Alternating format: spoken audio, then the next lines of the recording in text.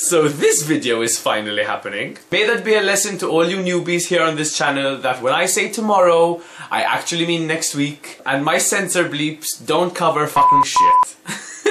Due to my cultural heritage and the ever-increasing number of island followers, and mostly because I always wanted to do this video and it's a perfectly good excuse to do it now, I was originally going to be doing a bit of a review of the Malta Song for Europe choices, but I realized there's a very good chance that the singers themselves might watch this or at least hear about it, and I didn't want to demoralize anyone before the competition because I could not guarantee niceness towards their entries, except maybe for Pamela, because ever since her All About a Life, I just fallen in love with her voice and the tone her voice and I've been a crazy stupid fan of hers so no matter what she sings I love it. Actually no scratch that. I've been a fan from before. I was a fan from the whole Play on your audience in the sky. She doesn't sound like a Cher on drugs, I promise, but that's kind of the tone she usually has. So anyway, I still thought that I would stick with the Eurovision-esque theme. Play on! If you're a subscriber of mine and you don't know what this competition is, I'm giving you a 10 second head start to go ahead and Google it before I find out who you are and I block you. so unfortunately, because of politics and because maybe our song choices aren't exactly ideal every year, we've never won the competition. We won the junior one recently. Well done, Gaia. But we've never won the main competition. So I thought what I would do is I would hold a smackdown year by year, debating who really deserved to win in that circumstance. Um, and since I'm rubbish at making decisions on my own, I thought I'd pull out a number from a hat and just speak about that year to you. 1. 2001. Lord have mercy, 2001's winner was painful at best. With its blatant refusal to let go of the decade before it, at the very least, bless it for promoting racial equality. Thinking about it though, I was only 9 when this song did come out and I still kind of remember the words of the chorus, although in my head they are come on everybody let's do that conga na na na na na na na na na So I guess there was something a bit catchy about it. Oh wait, well that was that was a different song. So this one just Oh, well this is awkward Estonia. Our homegrown attempt that year was this catchy number. And although my initial reaction is disdain towards this uh, dancing eyebrow man because now at this point in his career, 12 years afterwards, he's literally milked every ounce of fame.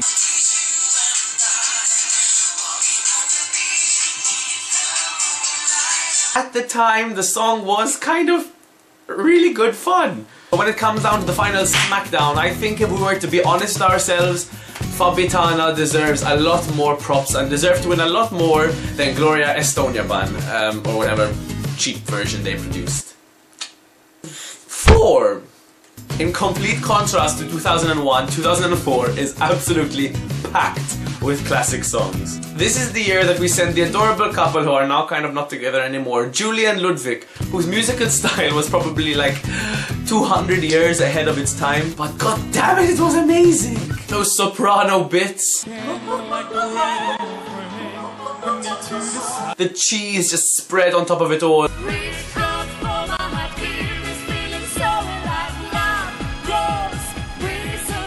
And perhaps my personal favorite, the switcheroo. Oh.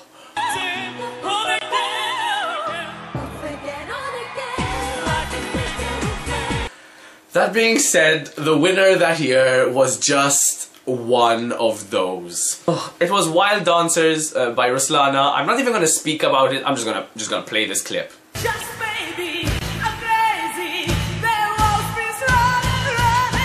I oh you go. You go, Ruslana. when it comes to the head-to-head -head smackdown, I'm sorry, Judvik.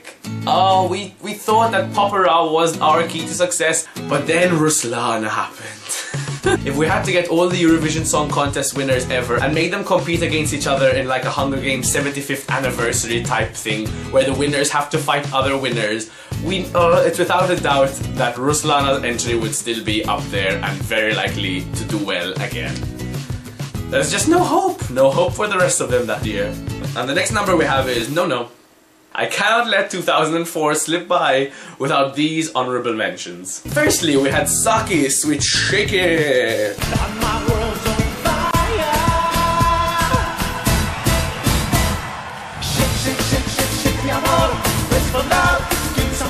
Had my sister and her friends not had a serious crush on him, would I have remembered his amazing dance moves and his really catchy song? Mm, yes.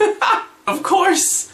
That year is the year we also had Bosnia and Herzegovina's um, Euro pop beauty in the disco. Music is what I want. Music is what I need. me and turn me slow. Up and down, here we go. And the final year is going to be 10. That was the year we sent Thea Garrett. And, nah, we didn't do too well that year. But she does have an amazing voice and she is very, very, very cute.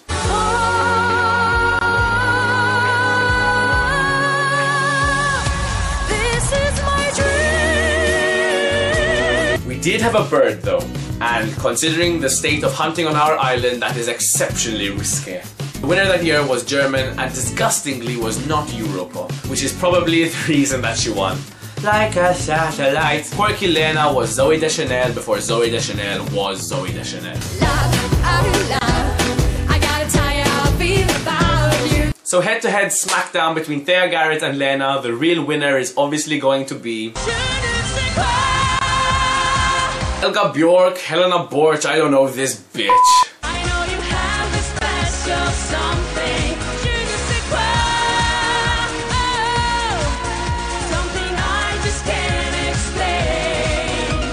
Second before Thea and before Lena is Azerbaijan with this beautiful ballad.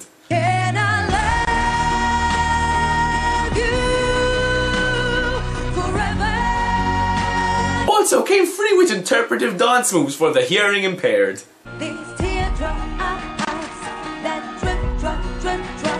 So that concludes today's SmackDown. If you guys like this sort of thing, please tell me because I would love to just spend ages just talking about Eurovision. It's not a problem for me. I could do it for ages. It would be my dream to speak to you guys endlessly about Eurovision songs. So if you did like it, just tell me and I'll pull more numbers out of hats and I'll bitch some more because I'm great at both of those things. um, so this week or maybe next week I'll put out the second part of Slay My Wives. I have exams so you have to forgive me for some tardiness. I'm great with excuses though. Um, so please like this video if you liked it, subscribe to see more, and I will see you all sometime next week. Or this week, depends. Je ne sais quoi